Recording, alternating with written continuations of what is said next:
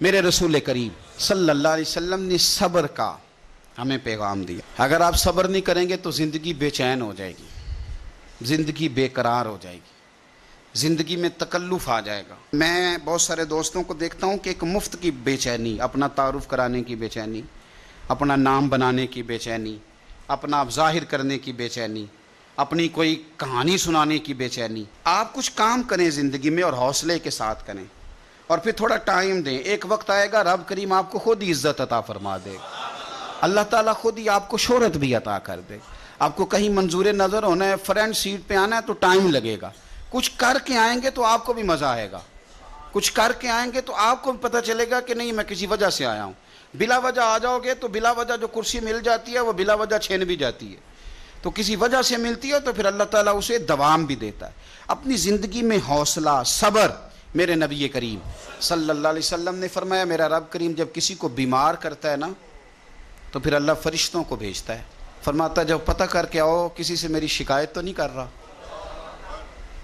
तो फरिश्ते जाके अर्ज़ करते हैं, मालिक, उसके पास तो जो भी आया ना, उसने यही कहा कि अल्हम्दुलिल्लाह, जिस हाल में अल्लाह ने रखा है, मैं राज़ी हूँ। उसने तेरी शिकायत नहीं की, उसने तेरी रज़ा पे उस बीमारी को तेरी तरफ़ से आजमाइश समझ के कबूल किया। मेरे नबी करीम सलाम फरमाने लगे, रब फरमाते फरिश्तों, गवाह हो जाओ। अगर मैं इसे इस बीमारी से शिफा दूँगा तो जो इसके पास खून है, इससे बेहतर खून इसे अता करूँगा। और जो इसके पास गोश्त है, इससे बेहतर इसे गोश्त अता करूँगा। और अगर मैं इसे इस बीमारी में वफात दूँगा तो फिर मैं इसे जन्नत अता करूँगा। अगर शिफा दूँगा तो बेहतरीन शिफा दूँगा। और अगर वफात दूँगा तो फिर जन्नत दूँगा।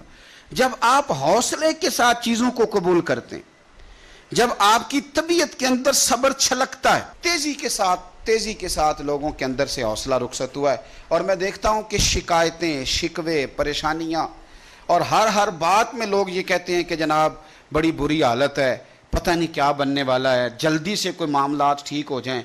और बात संगी इस तरह की बातें भी करते हैं, वो कहते हैं, जनाब, मैं तो नमाजें भी पाँचों पढ़ता हूँ।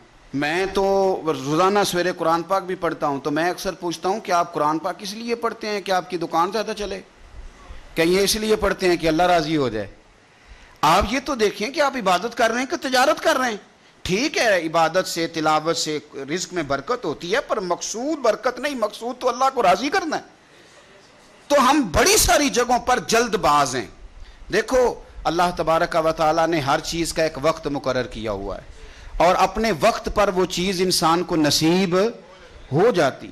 अगर आपके मिजाज में तहमुल हो, अगर आपकी आज टांग खुदा न खास्ता किसी की टांग फ्रैक्चर हो जाती है तो कोई टीका ऐसा नहीं बना के अभी लगेगा और 20 मिनट के बाद आप उठ के चलने लग जाएँगे। ऐसा हो सकता नहीं। आपको ऑपरेट कराना है, एक आध महीना देना है, दवाई खानी है, पट्टियाँ करानी है, वो अपने वक्त पे जाके ठीक होगी।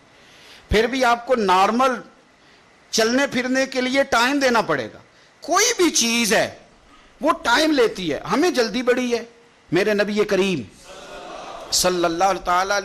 वसल्लम ने इरशाद फरमाया, कुछ लोग ऐसे होंगे क़यामत के दिन कि अल्लाह ताला की तरफ़ से मुनादी होगी। इसको इमाम गजाली ने हयाउलूम में लिखा है। मुनादी होगी कि फजीलत वाले लोग किधर हैं?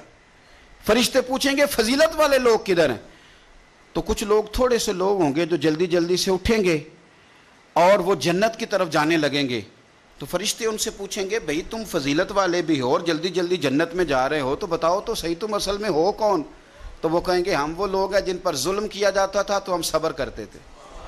और अगर कोई तकलीफ़ देता था तो हम उसे माफ़ कर देते थे। और अगर कोई जहालत करता था तो हम जवाब में बुर्दबारी करते थे। बस इसकी बरकत से अल्लाह ने फजीलत वाले भी बना दिया है और जन्नत भी अता की जा रही है।